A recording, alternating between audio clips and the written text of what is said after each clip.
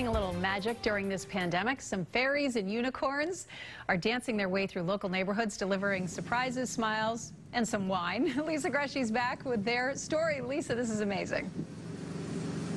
Kate, it really is. There are five unicorns total, and they're leaving behind a trail of magic that's pretty hard to miss. Introducing the unicorns of MA.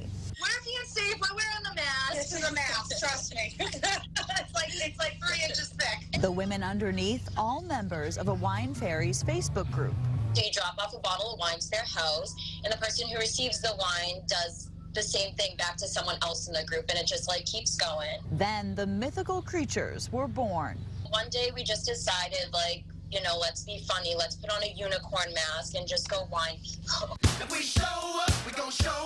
And it turned into much more. We've been going basically off private messages. Hey, my it's my kid's birthday, and you know, we'll make an itinerary for the day. Birthdays, graduations, this weekend's Memorial Day celebrations, all dressed up with a little glitter, even forming a parade line of their own along the way. Even though we have addresses um, for specific people to visit along the way, we're blasting music. We're in the bed of a truck. We have these big unicorn hats on, and kids are outside. It's a beautiful day. They're outside with their parents, and everyone is just getting a kick out of it. Five unicorns, five quick minutes or so, making all the difference while still keeping a distance. It's really awesome to see how much fun these kids can have really being still being separated. We pull up in the front lawn. We're not, you know what I mean? We're still separated by six feet apart, and we're just dancing.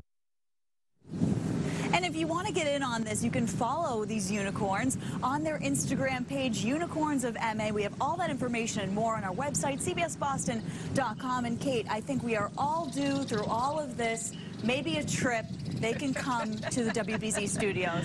what please, do you think? God, please, please come. I would really love for them to come. Lisa, great story. Thank you. Appreciate it.